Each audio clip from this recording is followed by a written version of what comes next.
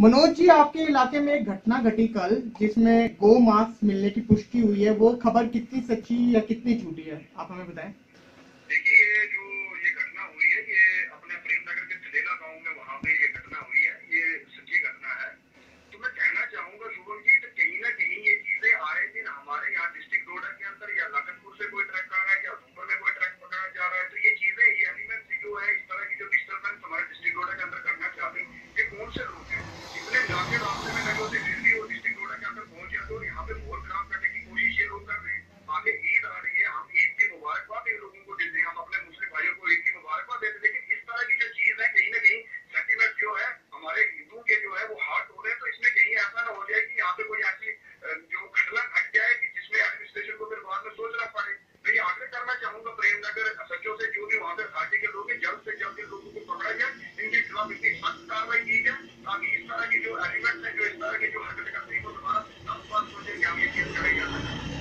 जैसा आपने बताया कि एसएचओ को कार्रवाई करनी चाहिए। जहाँ आप देखते हैं कि अगर आप डिस्ट्रिक्ट रोड या श्रीनगर जाना हो आप कोई ऐसा सामान ले नहीं सकते हैं। वहाँ पे गो मास का पहुँचना या गो मास कट कर कहीं जाना, आना जाना, कहीं ना कहीं प्रशासन को वीक दिखाता है। तो आप क्या उनके लिए बोलेंगे?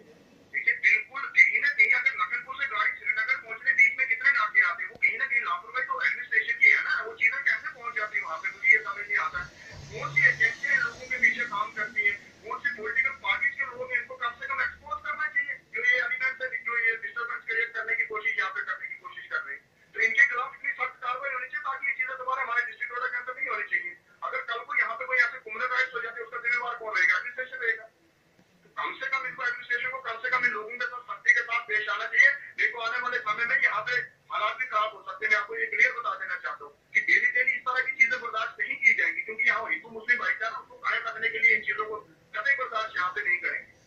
तो मनोज जी, जैसा कि आपने बताया कि आप जानते हैं वहाँ पे लोकल पहले पहुँच गए एडमिनिस्ट्रेशन बाद में पहुँची और जब लोकल पहुँच तो लोकल के बीच मिशअप भी हुआ, जिसमें कुछ लड़कों को पीटा भी गया।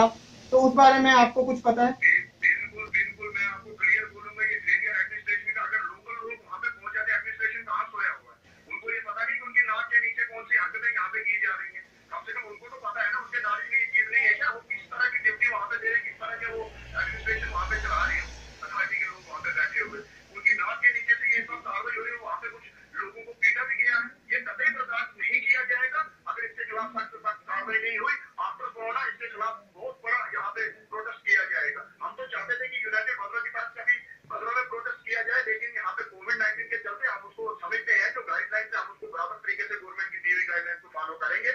इसीलिए हम चाहते कि गैदरिंग ना की जाए, इसीलिए हमने प्रोटेस्ट नहीं किया। लेकिन अगर एडमिनिस्ट्रेशन इस तरह की जो चीज़ें इनके नाक के नीचे हो रही है इस तरह की चीज़ें नहीं रोकी जाएँगी, ये आने वाले समय में एडमिनिस्ट्रेशन को पड़ेगा। तो आपने देखा यूनाइटेड भगवा सिविल सोसाइटी के मनोज पादा जी जो कि चेयरमैन पद पर विराजमान है। उन्होंने कहा कि अगर एडमिनिस्ट्रेशन इसकी तरफ़ कुछ कर- कड़ा रुख नहीं अपनाती तो कहीं ना कहीं आपको ये सब आउटकम को देखना पड़ेगा या आउटकम कुछ उसके अगेंस्ट आ सकते हैं। तो आज के लिए बस इतना ही। फॉर फर्दर डिटेल्स आप हमें फॉलो कीजिए लाइक कीजिए शेयर कीजिए। जय भारत, जय हिंद। शुक्रिया।